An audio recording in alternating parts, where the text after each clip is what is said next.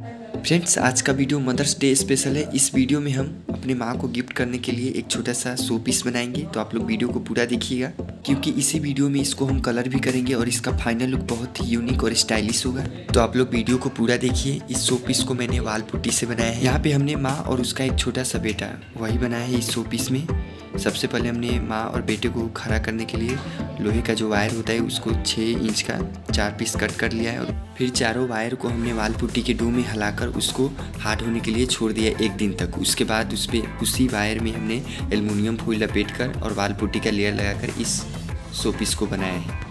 Friends अगर आपको इसका फुल वीडियो देखना है तो आप मेरे YouTube channel Ananda ten craft studio पे जाकर इसका फुल वीडियो देख सकते हैं। देखिए, हमारा ये शोपीस बनकर रेडी है। इसको हमने एक्रेलिक कलर से कलर किया है। फ्रेंड्स आपको ये शोपीस कैसा लगा कमेंट करके ज़रूर बताएँ। और वीडियो अच्छा लगे तो वीडियो को लाइक करें।